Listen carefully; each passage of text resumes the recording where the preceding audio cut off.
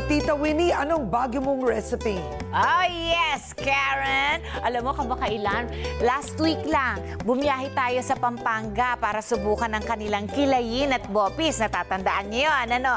Ngayon naman, we will go to the City of Smiles, Cebu! Para sa isa na namang masarap na recipe na pwede niyong subukan!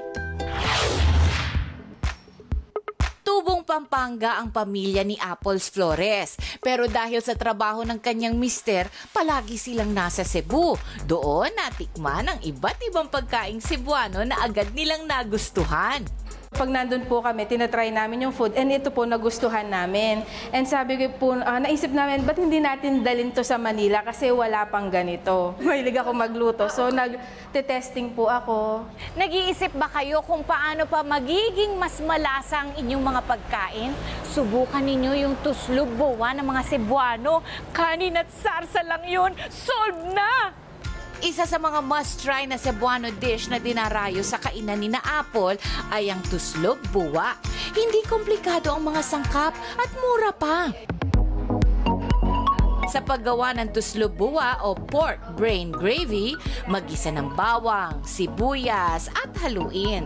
Lagyan ng siling labuyo depende sa gustong anghang.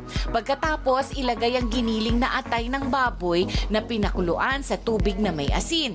Isunod naman ang pinakuluang utak ng baboy at haluing maigi. Lagyan ng tubig na may cornstarch para lumapot. Timplahan ng toyo, hintayin kumulo at ayos na! Ito po malasa na po kasi siya gawa ng liver and brain po. yung pinaghalong uh, ginisang sibuyas Bawang. at saka bawang lumalaban dun sa alat ng toyo. Ako. Oo nga, masarap ng sabaw yan. Pagluluto, ang winning discarded tip number one ni Apple, huwag matakot sumubok at mag-experiment sa recipe. May ano po kami, trial and error, kung ano yung mas okay sa panlasa. Talagang inaral po namin siya isa-isa.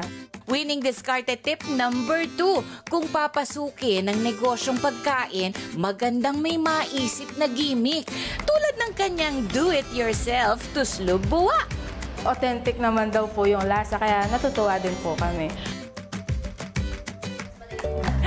O, di ba? Ang tawag ng uh, kainan nila eh pungko-pungko. Ang ibig sabihin daw po eh upo sa Cebuano. Upo-upo, kain-kain. may mga lugar kasi doon na sikat ang street food kung saan may tinatayong lamesa at silya lang at doon nakakain ng customer. Pungko-pungko! Ako po ang inyong Tita Winnie Cordero. Tandaan sa tamang diskarte, make every moment your winning moment.